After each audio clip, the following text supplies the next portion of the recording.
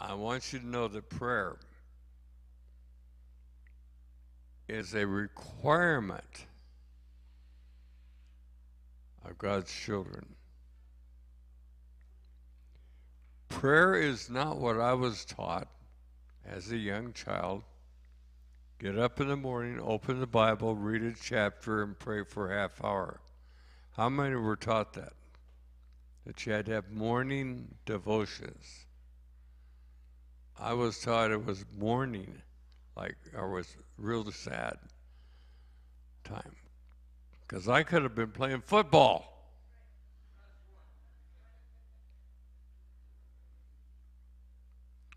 How many didn't like the regime of prayer at a certain time, certain way, in a certain place? So wait a minute. How many have a friend that's named Ceasing? S C C E S I N G. Is that it? C E A S I N G. How many know a person that has that name? Anybody? Okay, Jesus said to pray without ceasing. Unless ceasing is with you, then what should we do? Pray. Now I'm going to tell you some facts about prayer. There are many reasons to pray. I think the first one is praise. I think the most important thing to do is begin to tell him how you love him, how you appreciate what he did for you, and exalt him in your heart and praise him from whom all blessings flow. Some of you gone through situations this last two or three weeks. Very sad. You lost some very special people in your life. But how many would like to know somebody, a, a brother or sister, and never go to Hawaii for a week? And, and you felt really great, they got to go. All right. Yeah. Mike and Maureen or Jan are going. Yeah. And I'm really pleased for that. And I thank God they get a chance to get away from all the problems that they have to deal with here. Number one problem is, anyway, we pray in a petition for something that we need in our life. And my personal life is to have more wisdom, knowledge, understanding. This old body of mine ain't going to be around much longer. You know, it's okay. Because what lies ahead for me is something so glorious I can't even explain it to you. I'm going to get out of this silly body that if I don't take a shower once a month, people know it. How many know what I'm talking about? Yeah. It's important that we do that. I also like to pray for the needs of other people. Not just other people's physical needs, but in particular, their spiritual need of understanding, wisdom, knowledge, patience, kindness love, joy, peace, long suffering, gentleness, faith. That the fruit of the Spirit will blossom out. I do some gardening for Dorothy when she can hook me into doing it. And she has a fig tree that did not produce two years ago. Beautiful tree. Do you know what her first instinct was to do with that tree? Cut it down. Plant another one. But the next year, that tree had 12, 12 beautiful pears on it. That makes 24. if my math is right here. And all of a sudden, it's the most beautiful tree in the whole world. Yes. Well, that, that came from the original Garden of Eden. Many people think that in the Garden of Eden that it was an apple. The problem was not the apple. The problem was the pear.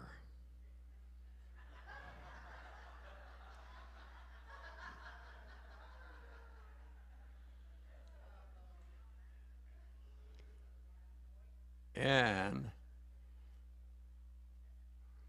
we pray for direction every day. How many get up in the morning and say, Lord, what would you have me to do? Anybody here?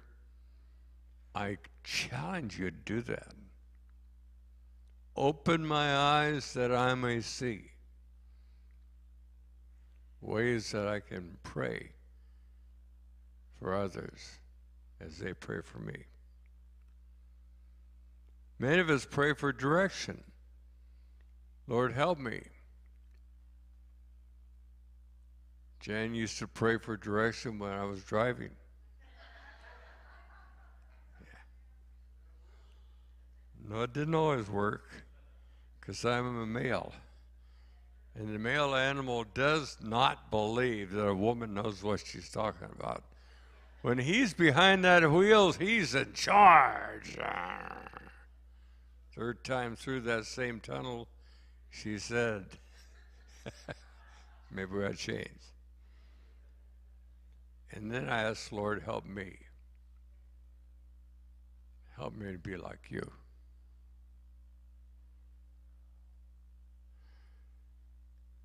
Now, did Jesus meet every Sabbath? Not necessarily. Did he honor the Sabbath? No.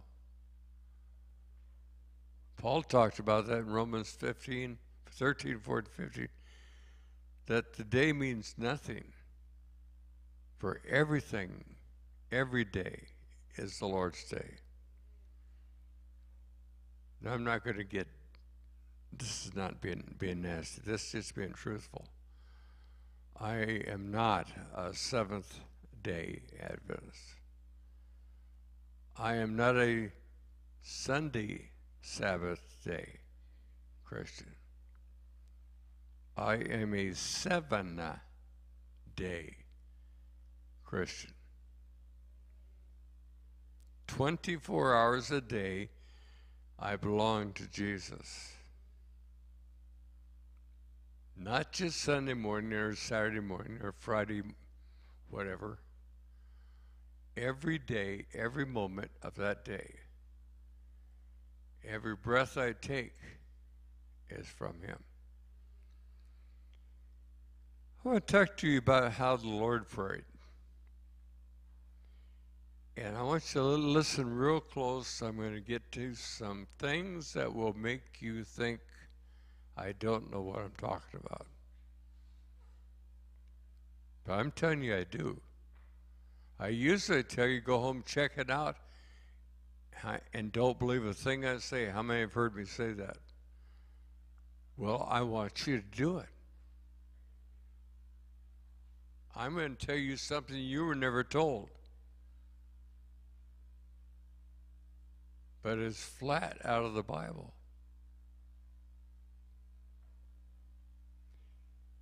Many people think the Lord's Prayer is our Father which art in heaven. That is not the Lord's Prayer. The disciples said unto Jesus, Teach us how to pray. Now, at that time, they were a corporate body of believers called Jewish people, right? And there were certain kinds of Jews, but these were very devout Jews. They followed him around. They had yet to receive the Holy Spirit in their life. They had yet to be born again. But they really wanted to know about this man named Jesus, so they followed him.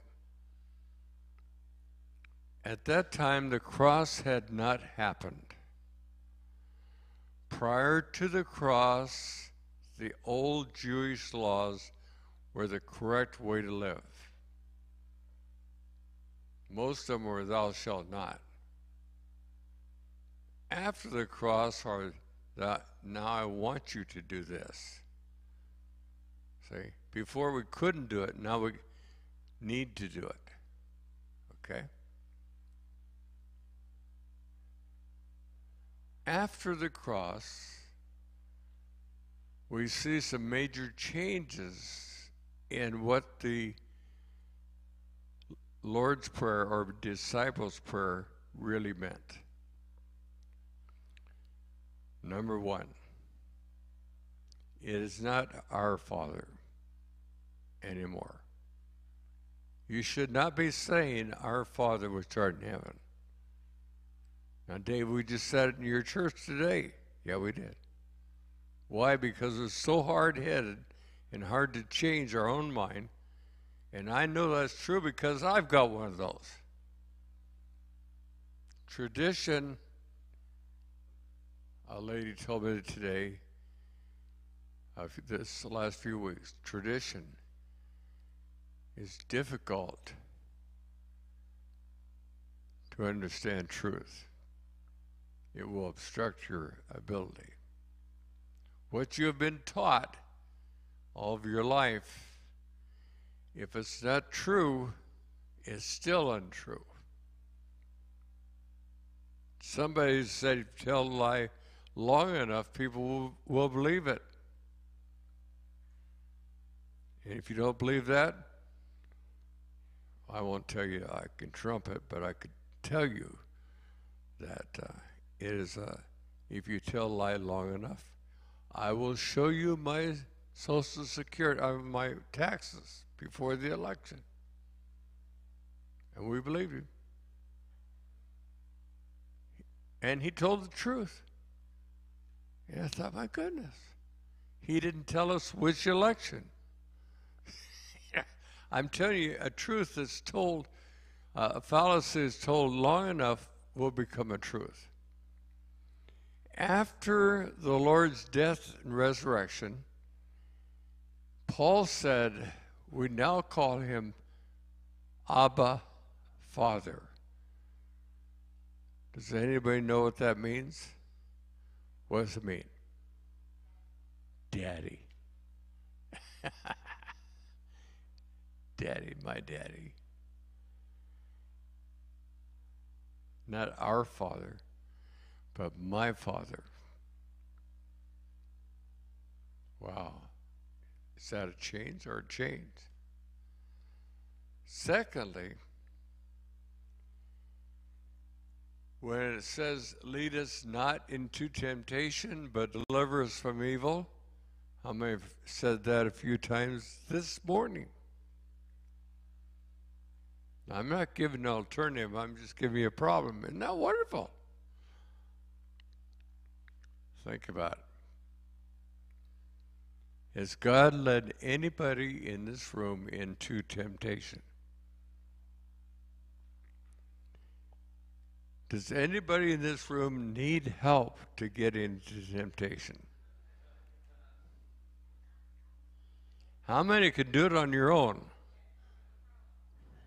I'm good at it, yeah. The actual Arabic and Greek would say this Father, lead us out of our temptation. Father, keep us away from our temptation. Father, protect me from my temptation. Nowhere in the in any real interpretation, does the Bible say, lead us into temptation? Because God will not tempt anybody. So why would we say that? Because we were told to.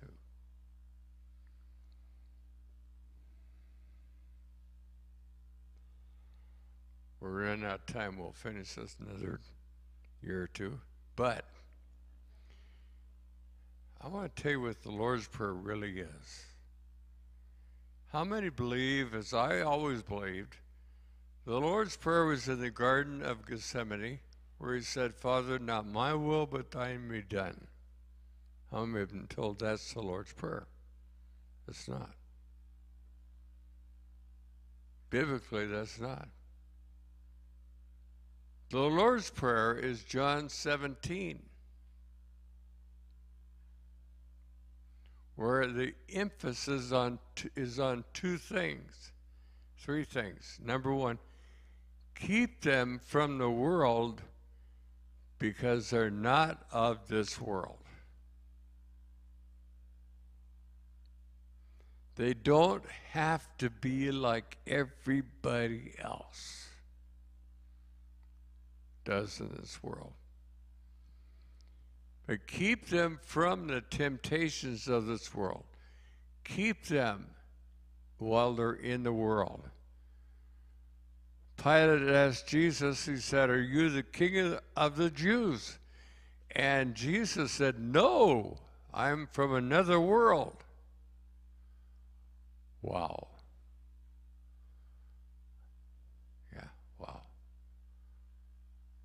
Think of it.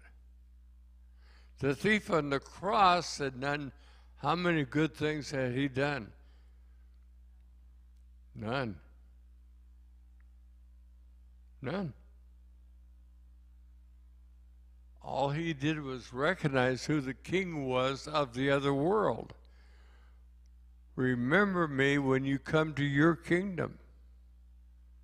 Right? Jesus talks about in Matthew about the people who had gone to see the sick and had gone to jails, visited people and taken care of each other, and, and they were called sheep, right? Another came to him and said, I did all those things. I was a good guy. And Jesus said, Depart from me. I don't even know you. So, what good are works if they don't work?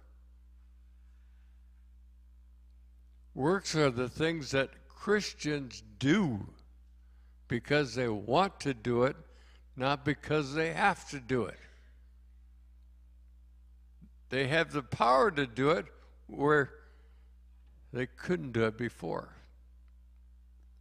because greater is He that's in you, that's in the situation that you run into.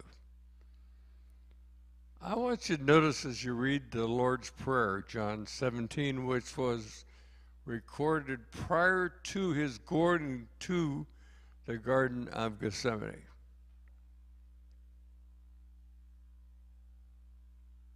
Did you hear what I said? This was prayed before he went to the Garden of Gethsemane. And he said in his prayer, Oh, Father, that we be one like you and I are one, that we're all one. Wow. And then he said this that where I am, they may be also. Where was he? He was in the presence of the Father. He was part of the family. He was a family of God. He wants us to be like Him. That where I am, there they may be also. Now, the last fallacy I'll give to you, before I want to tell you the, the final, is this. The worst thing that's happening to most of us I have been to literally hundreds and hundreds of memorials, funerals, life celebrations. How many know what I'm talking about? And they always read John 14. And it says, Let your, not your hearts be troubled. You believe in God. Believe also in me, for in my Father's house are many dwelling places, not mansions. Dwelling. Listen to that word. To dwell means to stay in, right? To dwell means not to just visit. To dwell is to be there. That they may have a place in the family, that where I am in the family, they may be also.